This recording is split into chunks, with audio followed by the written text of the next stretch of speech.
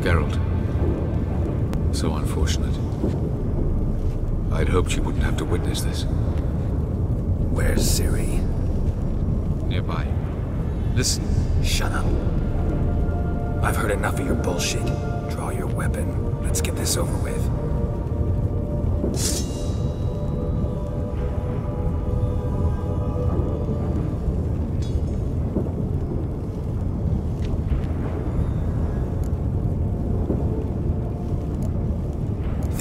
To spare you? I think you will not attack one unarmed. Wouldn't be so sure. I'm in a foul mood. I am not your foe. I am merely helping Cirilla. I don't believe you. Can't. Not after all that's happened. Will you believe me?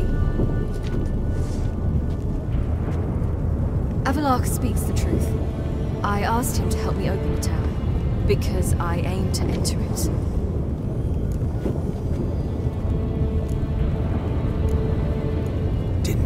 Worthwhile to tell me? Warn me of your plans? I'm sorry, I know I should have. But I feared you'd not understand. Feels like I'm talking to Yennefer.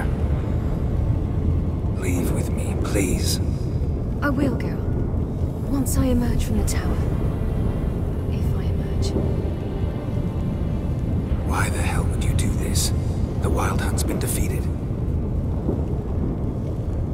White Frost has not.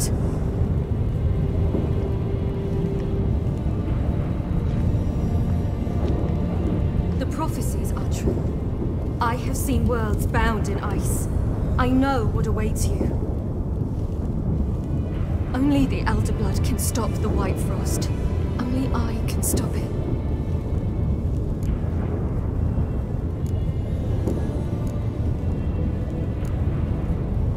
You don't have to make this sacrifice. You're wrong. The White Frost is inevitable. It will come to freeze the worlds one after the other, eradicating all life.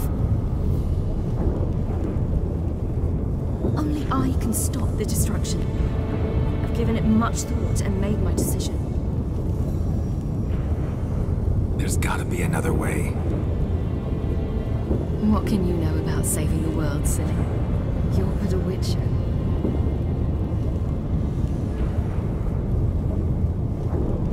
This is my story, not yours. You must let me finish telling it.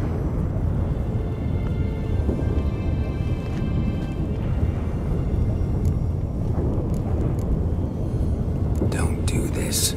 To me. Please, not now. Geralt, believe me. Tavern, old wine, our boots drying by the fire. I'd like nothing better.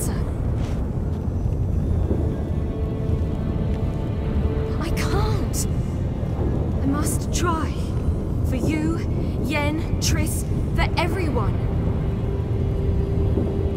Keep your fingers crossed.